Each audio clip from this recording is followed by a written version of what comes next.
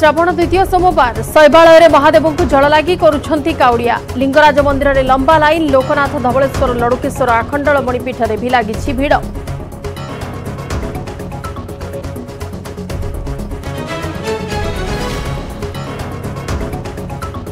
ଦେବଗଡ଼ ଜିଲ୍ଲା ଗସ୍ତରେ ଫାଇଭ୍ ଟି ସଚିବ ଭିକେ ପାଣ୍ଡିଆନ୍ ଆଜି ସକାଳୁ ଝାଡ଼େଶ୍ୱର ମନ୍ଦିରରେ ପୂଜାର୍ଚ୍ଚନା। ପାଖରେ ଫାଇଭ୍ ଟି ସଚିବଙ୍କ ପାଇଁ ବେଶ୍ ଉତ୍ସାହିତ କାଉଡ଼ିଆ ଭକ୍ତ।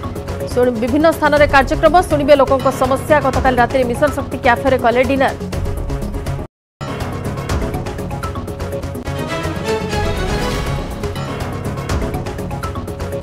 ସକ୍ରିୟ ମୌସୁମୀ ପଛକୁ ପଛ ଲଘୁଚାପ। ପ୍ରଭାବରେ ପାଞ୍ଚ ଦିନ ରାଜ୍ୟରେ ପ୍ରବଳ ବର୍ଷା ସମ୍ଭାବନା। ପାହାଡ଼ିଆ ଅଞ୍ଚଳରେ ହୋଇପାରେ ଭୂସ୍ଖଳନ। କିଛି ସ୍ଥାନରେ ସୃଷ୍ଟି ହୋଇପାରେ ଆକସ୍ମିକ ବନ୍ୟା ପରିସ୍ଥିତି। ସବୁ ଜିଲ୍ଲାପାଳଙ୍କୁ ସତର୍କ ରହିବାକୁ ଏସ୍ଆର୍ସିଙ୍କ ପରାମର୍ଶ। ଆଜି ଆଠ ଜିଲ୍ଲାକୁ ଅରେଞ୍ଜ ଏଗାର ଜିଲ୍ଲାକୁ ୟେଲୋ ଆଲର୍ଟ।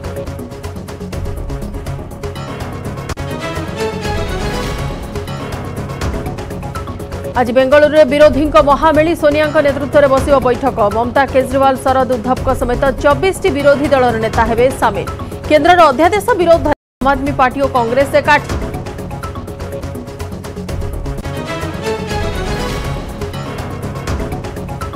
আজ চিতালাগি অমাবাস্যা মহাপ্রভুঙ্ দর্শন লাগি ভক্তঙ্ ভিড় শ্রীমন্দিরের স্বতন্ত্র নীতিকান্তি আজ অপরাহ দুইটার ছটা যায় চারি ঘণ্টা বন্ধ রহব সাধারণ দর্শন